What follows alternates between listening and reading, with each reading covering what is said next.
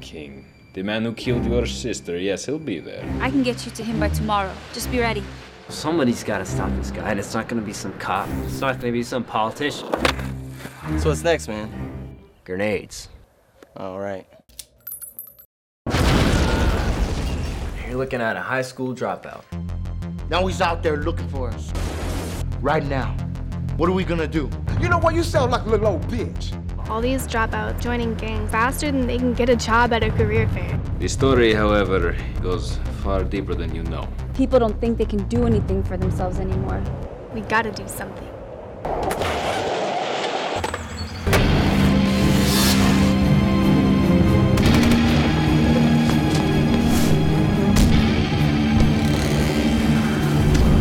Things are normal.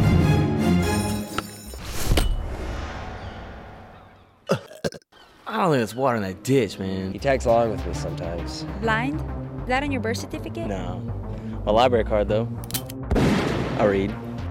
See, tomorrow morning, the whole town's gonna wake up dead.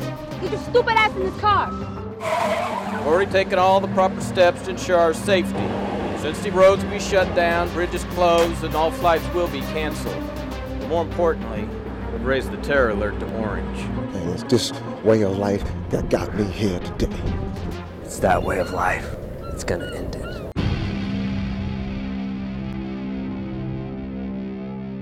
Okay, we'll have to be ready by sunup. The couch is a pull out. She's right, you know. Alec, come on. Russian.